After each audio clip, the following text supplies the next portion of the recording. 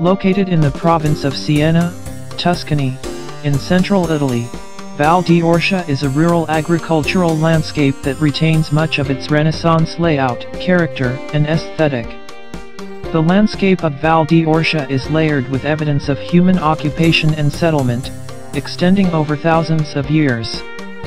Redrawn and developed when it was integrated in the territory of the city-state in the 14th and 15th centuries, Val d'Orcia reflects an idealized model of good governance, and creates an aesthetically pleasing picture.